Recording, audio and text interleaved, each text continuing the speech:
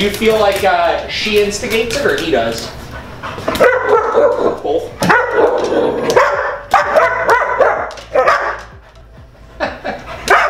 okay. How old is he? He's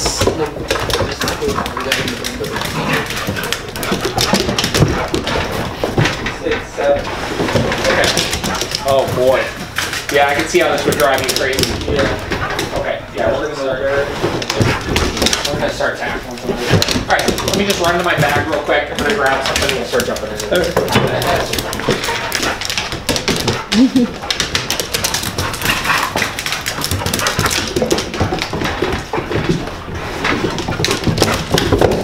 Oh, jeez.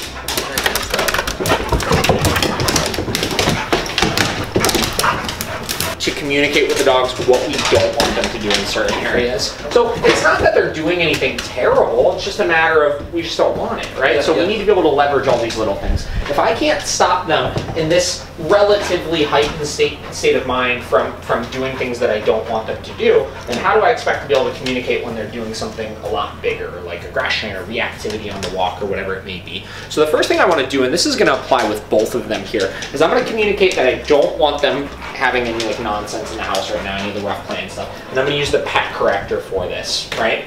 So the pet corrector is just compressed air. So when you spray it, it gives a loud burst of air here. So what I'm going to do is I'm going to condition a verbal marker with the pet corrector here. So this word is going to be no, right? So I'm just going to tell them no.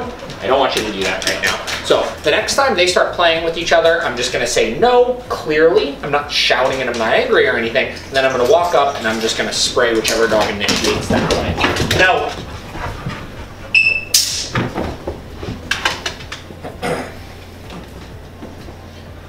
And then we're going to wait and we're going to see what happens. And if they do it again, I'm going to do that same exact thing again. Now, she seemed a little bit more fazed by it than he was. Certain dogs are more or less responsive to this than others. he thinks it's a toy, right? so, um, we're going to kind of see what we get here with it. So. No. So now that I said no, I'm just going to find him,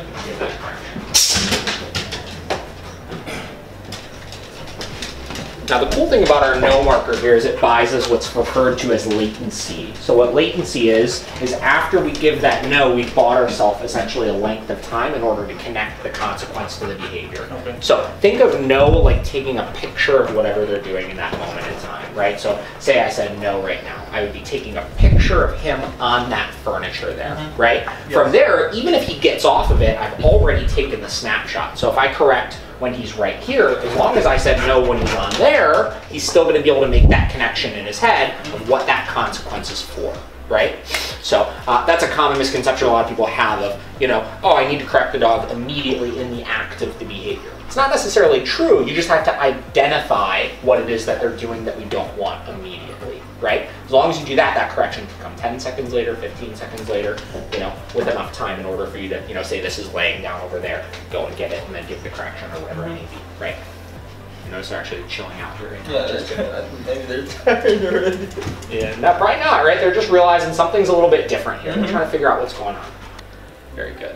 Okay, let's go ahead and get up, and we're just going to kind of walk around uh, through the kitchen here. Yeah, we go in that direction.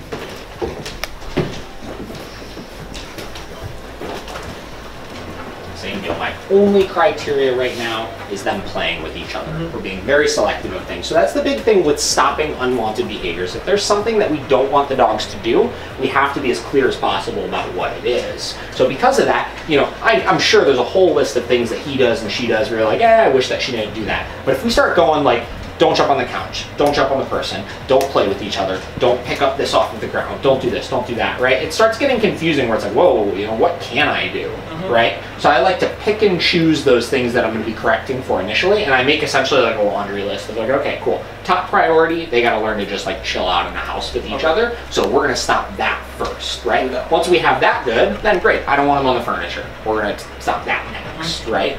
And then after that, you know, I don't know, barking or whatever it may be, we're going to keep going down that list and be as consistent as possible at each of those things until we chip away with them. And a lot of times, you know, just behavioral issues in general really stem from the dog not truly like understanding that we can influence their behavior. You know what I mean? So if she doesn't realize that you have the ability to communicate with her, you know, things that she doesn't want to do, or things that we don't want her to do, or him, or, or whatever it may be, they're more likely to react and act, you know, a certain way in the house and stuff like that. So we want to be really aware of those things.